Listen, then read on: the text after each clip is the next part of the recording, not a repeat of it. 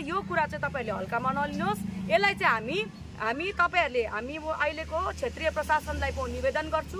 तपाईँहरूले डिएमसँग बात गर्नुहोस्। डिएमसँग बात गरेर यसलाई कसरी लिगलाइज तरिकाले कोअपरेटिभ सोसाइटीको तरिकाले काम गर्नु गर्नु सक्छ त्यो तरिकाले तपाईँहरू सरकारसँग बात गरेर लेबर डिपार्टमेन्ट कता कता हुन्छ बात गरेर यसलाई चलाउनुहोस्। नत्रदेखिको हामी यस विषयलाई लिएर कोर्टमा जानेछौँ। यो सिल भएको कमान हो र मौलिक अधिकार फन्डामेन्टल राइट्स जुन चाहिँ आर्टिकल ट्वेन्टी वान आर्टिकल एक्काइसले हामीलाई जिउने अधिकार दिएको छ। जिउने अधिकारमा खाने अधिकार बस्ने अधिकार आफ्नो जीवन पाल्न सक्ने अधिकारमा हामी हाइकोर्टमा रिट पिटिसन हालेर हामी हाइकोर्टको थ्रुबाट यसमा यसमा हामीले काम गर्नेछौँ। त्यति बेला चाहिँ यो बगान उन्नाइसदेखिको अहिलेसम्म कसले चलायो कसरी चलायो को को मान्छेहरू यसमा मिक्स थिए कति कति चाहिँ यसमा हिसाब किताब भिनामिना भएको छ कतिजना इम्प्लोइमेन्ट पायो यहाँनिर तपाईँहरूले होडबाजी गरेर एउटा पोलिटिकल पार्टीको गुटटुटु ल्याएर भेर भेर भेर भेर बोलेर हाम्रो मान्छेले गएर त्यसलाई काउन्टर दिएर हुने चाहिँ कुराले चाहिँ यहाँ चाहिँ खतम चाहिँ हुँदैन नि। काउन्टर एन्काउन्टर काउन्टर एन्काउन्टर गरेर चाहिँ हुँदै हुँदैन यहाँनिर। यहाँनिर चाहिँ यो एकदमै लिगल तरिकाले भएको हुनुपर्छ काम त्यसमा चाहिँ हामी छौँ र अब तपाईँहरू यो यो चिजलाई चाहिँ हामी इमिडिएटली उठाएर उहाँहरूसँग कुरा गरेर अब हामीले कहाँ जानुपर्छ? यदि हामी यो चिज लिएर चाहिँ कोर्टमै जानुपर्छ भनेदेखिको चाहिँ हामी डेफिनेटली जान्छ जान्छौँ। त्यति बिचमा हामीले यहाँको दाजुहरूलाई पानीघट्टाको यो चिया सुरक्षा समितिको टिम लगायत तपाईँहरू जसले गार्डन चलाउनुहुन्छ तपाईँहरू बसेर एकपल्ट डिस्कस गर्नुहोस्। तपाईँहरूले पोलिटिकल पार्टीले तपाईँ मेरोमा आउनुहोस् तपाईँ मेरोमा आउनुहोस् भनेर कानी खुसी गरेर तपाईँहरूलाई पर्सनली बोलाएर पर्सनल इन्ट्रेस्ट देखायो भनेदेखिको तपाईँहरू जानुभयो भने या लुर गर्नुभयो भने या लुर हुनुभयो भनेदेखिको चाहिँ फ्युचर चाहिँ सबैको बर्बाद भएर जान्छ। र यसमा चाहिँ हामी एकदमै ध्यान दिँदैनौँ र हामी यहाँनिर धर्ना एउटा संविधानिक तरिकाको धर्ना साथसाथै लिगल प्रोसिडिङ के हुन्छ त्यसमा पनि हामी जानेछौँ। र केही दिन अगाडि म्यामले यहाँ थानामा एफआइआर गर्दाखेरि यो कमिटीकै एक सदस्यले भन्नुभएको थियो वन्दना म्यामलाई केही पनि थाहा छैन पानीघट्टा बारेमा हामीसँग आएर सल्लाह गर्नु पर्थ्यो भनेर हजुरलाई एउटा किन सल्लाह गर्नु उनीहरूसँग? म सल्लाह गर्ने कोही पनि होइन। म थानामा यहाँनिर आएको छु यहाँ आएको छु उहाँहरूको सल्लाहले आएको उहाँहरूले मलाई इन्भाइट गरेर म पर्सनल त कोही पनि होइन नि त। म पर्सनल उनीहरूसँग गएर सल्लाह गरेँ भने त त्यो साँठगाँठ भइगयो त। भित्र त अब के हुन्छ हुन्छ नि होइन? अब पर्सनल रिलेसन हुन्छ दाजुभाइ दिदीबहिनीको रिलेसन हुन्छ कतिवटा। त्यहाँनिर किन म पर्सनली उनीहरूकोसँग गएर किन पर्सनली कुरा गर्नु?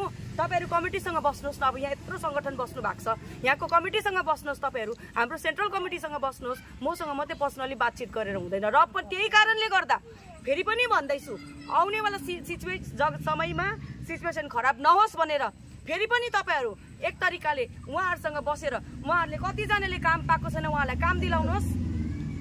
सही सुचारू रूपले हिसाब किताब गर्नुहोस्।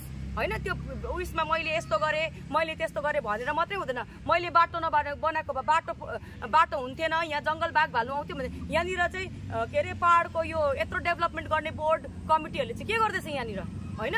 उनीहरूले पर्सनली त्यो चियापत्तीको बार बार बारी फाडेर चाहिँ उनीहरूले यहाँनिर लाइट आउने बनायो या झोडी सोडी हरायो। यहाँनिरको म्युनिसिपालिटी ग्राम पञ्चायतहरूले चाहिँ के गर्दैछ? आफ्नो आफ्नो जग्गामा आफ्नो आफ्नो जग्गाको काम गर्छन् व्यक्तिहरूले। पिडब्लुडीले बाटो मेन्टेन गर्छ भनेदेखिको यो जङ्गल फरेस्ट एरियाले फरेस्टलाई आफ्नो फरेस्टलाई कन्ट्रोल गर्छ भनेदेखिको हरेक चिजको डिपार्टमेन्ट छ। मैले गएर मैले गएर कुनै पनि बाटोलाई सफा गरेँ भनेदेखिको त्यो बाटो त मैले पाउँदिनँ नि त। त्यो बाटो त मैले ओन गर्दिनँ नि त। मैले गएर कतै पनि नाला झोडा फाडेँ भनेदेखि त त्यो त्यो नाला झोडाबाट उब्जे उब्जेको खेतीपाती त मैले खाने त उपभोग गर्ने त मेरोमा त अधिकार छैन नि त। यो पनि हामीले सोच्नुपर्छ। एक तरिकाले हामी सोसियल एक तरिकाले हामी पोलिटिकल भन्नुहुन्छ पोलिटिकल पार्टीमा सेवा गर्ने भन्नुहुन्छ अर्को तरिकाले मैले गरेको थिएँ र त्यहाँको मान्छेहरूले चाहिँ त्यहाँको चियापत्ती खानु पाउँदैछ भन्नु चाहिँ हुँदैन। किनभने यो कसैको अधीनको कुरा होइन यो सार्वजनिक सबैको हो। अनि यहाँनिर पक्का पर्मानेन्ट एम्प्लोयहरू एक हजार एक सौ तिसजना छ भनेर डिएमको आरटिआईमा हामीले पाएको छ त्यो देखाइदिएको छ। र म पर्सनली कसैलाई पनि यस त्यो पर्सनल रिलेसन अलगै हुन्छ होइन? त्यो पर्सनल मेरो एज सच कसैसँग पनि त्यस्तो छैन। तर यो साङ्गठनिक कुरा लिएर चाहिँ साङ्गठनिक विषयमा मिटिङ भएको हुनुपर्छ। र केही दिन अगाडि अब पानीघट्टा चियाबारीमा त दुई पक्ष छ। एकपट्टि अनसन बस्ने एकपट्टि अर्को कमिटीको पक्ष छ है म्याम? अनि उहाँहरूले त भन्दैछ उहाँहरूले बन्द गरेर चाहिँ हाम्रो रोजीरोटी मऱ्यो। अब भोक हामी भोकै भयो भने चाहिँ यहाँको प्रतिनिधित्व गर्ने व्यक्तिहरू घरमा गएर हामी हङ्गामा? लाउँछु भनेर त्यहाँनिर मैले भन्दैछु त त्यहाँनिर मैले त्यही त भन्दैछु त त्यहाँनिर उनीहरूले जति अहिलेसम्म जुन चाहिँ सङ्गठनले यो गार्डन चलाएको छ कतिजना इम्प्लोइमेन्ट दिएको छ?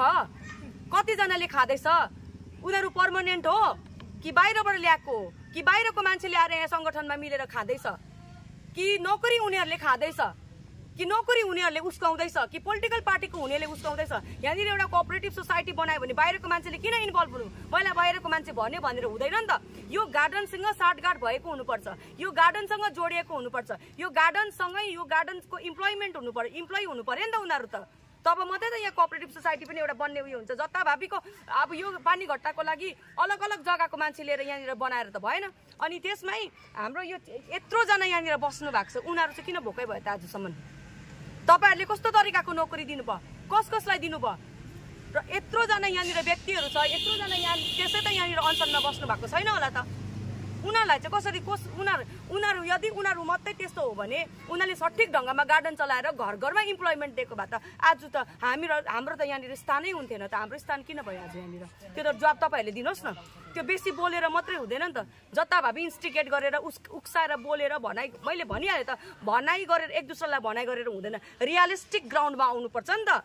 त्यहाँनिर उनीहरूले इम् बाहिरको इम्प्लोइमेन्ट लिएर आएर बाहिरको व्यक्तिहरू ल्यायो या भित्रकोलाई या पर्मानेन्ट या टेम्पोररी कसलाई दियो कति हजार दियो किन दियो? त्यो त हिसाब किताब हुनु पर्यो नि त। हाम्रोमा त एक हजार एक सौ तिसजना पर इम्प्लोइमेन्टको यो वर्कर्सहरूको हाम्रोमा लिस्ट छ नि त। त्यो लिस्टभित्र तपाईँहरू पर्छ होइन? त्यो पर्ने व्यक्तिहरू चाहिँ उनीहरू चाहिँ किन बाहिर छ त? उनीहरूले चाहिँ किन काम पाएन त? के चाहिँ कारण छ त? अन्त हाम्रो भनाइ केही पनि छैन। उनीहरूलाई पनि तपाईँहरूले सामेल गरेर मिलेर कोअपरेटिभ सोसाइटी बनाएर चलाउनुहोस् गार्डन अन्तखेरि तपाईँहरूले तपाईँहरूलाई हामीले रोकेन भनेदेखिको भोलिको दिनमा तपाईँहरूले यहाँनिर इन्डस्ट्री ल्याउँछ फ्याक्ट्री ल्याउँछ यो के अरे होमस्टे ल्याउँछ तपाईँहरूले यहाँनिर त्यो हाउसिङ सोसाइटीहरू ल्याउनुहुन्छ तपाईँहरूले अरू अरू बिजनेस काम गर्नेहरू ल्याउनुहुन्छ तपाईँहरूलाई भन्छु यहाँनिर चियाको कम्पनी ल्याउनुहोस् त।